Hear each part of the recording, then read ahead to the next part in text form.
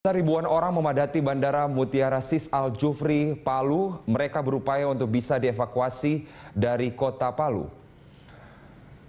Kerumunan warga memenuhi Bandara Mutiara Sis Al Jufri.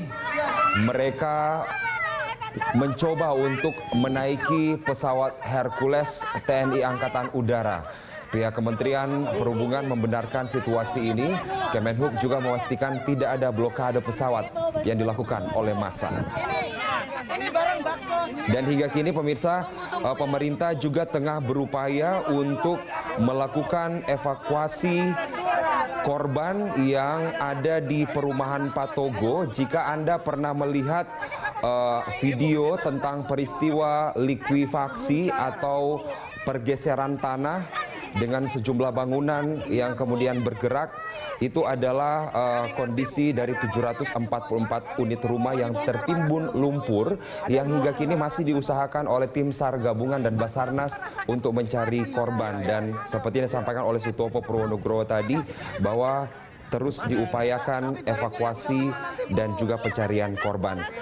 Pemirsa tiga hari pasca gempa dan tsunami mengguncang kota Palu.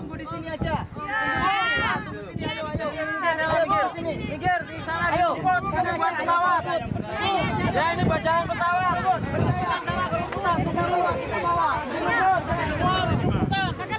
Yang Anda lihat ini pemirsa adalah kondisi setelah tiga hari gempa, bumi dan tsunami di Palu. Ini adalah kondisi di Bandara Mutiara Al Sis Al Jufri, Palu. Ada satu buah Hercules di sana kita lihat dan banyaknya masyarakat yang berupaya untuk bisa menaiki pesawat Hercules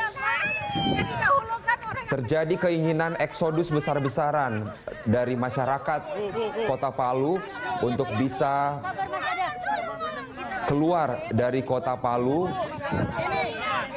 karena tentunya kita tahu bahwa trauma dan juga ada beberapa yang memiliki kerabat dan minimnya fasilitas yang ada di kota Palu seperti penerangan hingga kini jaringan listrik masih sulit untuk didapat.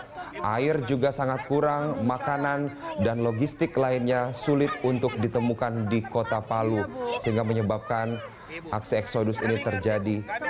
Kementerian Perhubungan tadi sudah menyebutkan bahwa tidak ada blokade massa di uh, Bandara Mutiara, tetapi memang masyarakat banyak yang meminta agar pemerintah memfasilitasi mereka untuk bisa keluar dari kota Palu menuju ke kota-kota teraman yang ada di dekat Palu.